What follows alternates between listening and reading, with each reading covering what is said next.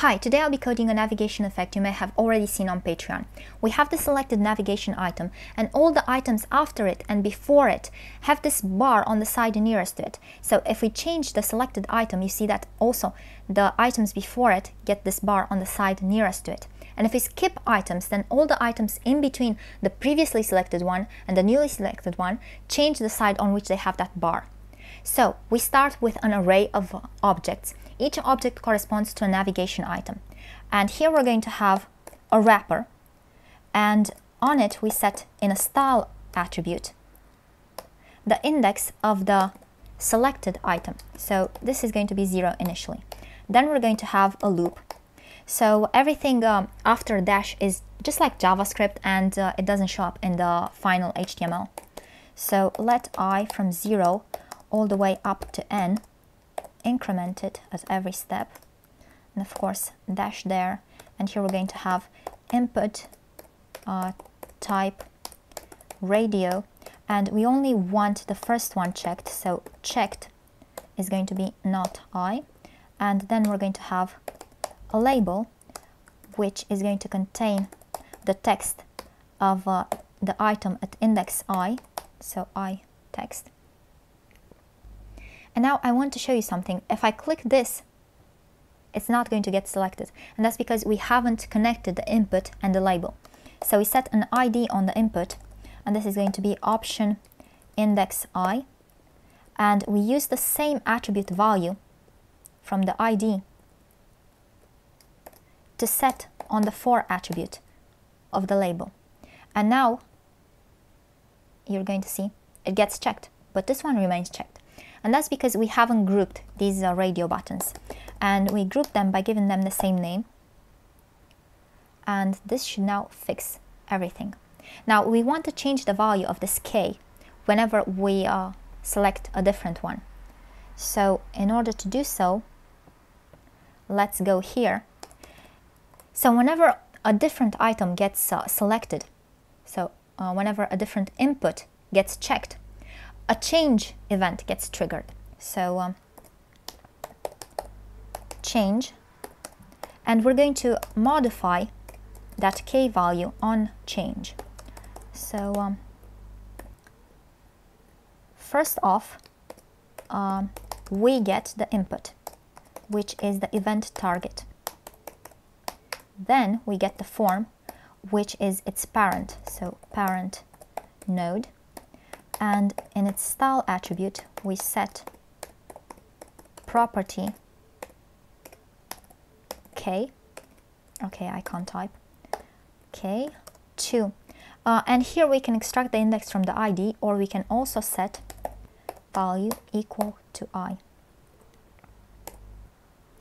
Okay so um, whichever you want. I'll be using the value one. It doesn't really matter so yeah, after having done this, let's bring up DevTools because I want to show you that it works. So now it's currently, K is currently zero, but if I select something else, it's going to change and you can see it changed. Okay, so that's it, the JavaScript works. Let's go back to the markup because there's one little thing I want to set.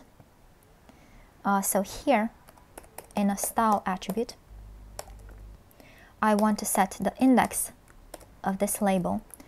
And it's going to be I. And I also want to set a color which is going to be uh, the item at index i. Um, sorry color. So now I'm going to have type radio. And um, here set the color. Okay, so this works, but the effect we want here, it's pretty much an effect that I've shown before. So if you remember this demo, great. If not, you can go watch the video of me coding it. It's about 9 minutes, I believe. So I show how to get this uh, effect on hover. And now it's not going to, going to be on hover, it's going to be on the item being selected. And in that video I explained that when we have a light background and dark text, we can't get this effect using this method. So what we do is use a dark background and light text and then invert the whole thing. Use an invert filter, as you can see there. So um, let's go back here and we're going to set background to black and then on the form we're just going to invert everything. So um, filter invert so one. One means full inversion. Okay and another thing I want to do is just uh, give this form a background. And it's not going to be black it's going to be something slightly lighter which is going to translate to a light uh, gray a really light gray. So um, let's set a padding because it drives me nuts to see it like that. So um, okay. Now it's starting to look more like something. And let's also tweak the font. So bump it up in size increase the line height. Okay get rid of the curly stuff. Okay uh, the line height isn't doing anything so display grid. And let's also set a grid gap and make it equal to the padding. Okay and now it's starting to look better. Uh, we'll get back to it to fix it. But first we want to invert this color from here. So um, what we'll be doing is taking it from there and um, let see now you see all these colors have the same 6 hex format which means we can extract the channels with a simple regular expression so um, now we have obtained an array um, from there and we want to invert those channels. And the way we invert channels is we subtract their value out of 255. So the problem here is that these channels are hex strings. So they're hexadecimal strings. So we need to convert them to decimal. So parse int and we have our hex strings okay base 16 and now we take this and we have uh, the decimal and we revert to hex strings. So to string base 16 and now we just uh, join the whole thing and we're going to need that. Okay so it's going to be a proper hex value now. Okay so these are the initial colors we wanted to have so perfect now let's go back to this and um, let's set grid autoflow uh, column. Okay, now this has worked. Uh, something else I want to do here is white space, no wrap. Okay, now this is going to look better. Now the whole thing is, that thing ends there, so we need to set, uh, here we need to set a min width and this is going to be max content okay and something else we want for the situation where this is a lot bigger so um, we're going to want to set a place content so place content center so if this is a lot longer then they're all going to be in the middle now this looks a lot nicer, doesn't it? Okay, now having done this, uh, let's also create a pseudo element here. So an after pseudo element. So it's basically the same technique as in the link hover effect. Position absolute. Actually, I'm just going to uh, copy paste this part because I hate writing that part. So uh, content uh, nothing and um, I think I can take a bit more. So background current color and mix blend mode difference. Just uh, going to paste those there. Okay. So um, yeah.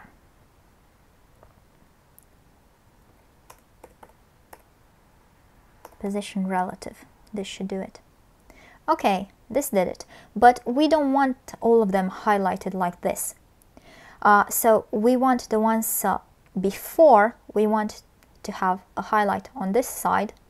And the ones after, we want them to have a highlight on this side. So in order to do so, we're going to compute the absolute value of the difference between the select the index of the selected item and the index of each and every one of these. So for each label, we're going to have the absolute value is going to be the maximum between k minus i and i minus k. So calc k and uh, now we're going to take this copy paste and just uh, switch i and uh, k and now that I've done this, I'm going to uh, compute the sign. So if k is greater than i, then this is going to be positive and this is going to be negative. So it's going to be discarded. And if it's the other way around, then this one is going to be negative and this one is going to be positive. So this one, the first one is going to be discarded. If they're equal, they're both going to be 0 and the value is going to be uh, 0. So now we compute the sign. So uh, the sign is the difference, so this uh, difference right here, let's put it between parentheses, over the absolute value. So, um, okay, so the sign is going to be minus 1 for those before, it's going to be 0 for the current one, and uh, it's going to be um, plus 1 for the ones after. So now let's do something with this. So we can set a transform uh, translate. So for example, we can set calc, the sign times 50%. Um, and it's going to look weird because they go outside their uh, parent labels. So we're going to set overflow hidden right here. And now you can see that these have the second half highlighted and these have the first half. But we don't want 50% there uh, we want 100% minus the padding. So minus, and we need to interpolate. Okay, so now that I've done this, it looks nice, but let's also set a padding here, and it's going to be zero vertically and twice that padding horizontally. Okay, now let's hide those, um, so position absolute, opacity, zero, and also both for these and for the label following them um, we're going to have cursor pointer. Okay so this looks nice. As you can see it moves from one to the other. One thing I don't like is that we have less space here than we have here. So we could fix this with a text indent. So setting something similar to this for text indent. Or we can put this text in a before pseudo element. And that's what we'll be doing right now. So put this in a before pseudo element. So okay. Now let's say we have before content we use that attribute volume. Okay. Now we also want to set display block on them and we want to set something similar to this except we're not going to have a hundred percent there and let's uh, get rid of that as well we're going to have minus half so minus 0.5 So yeah, this uh, fixes it.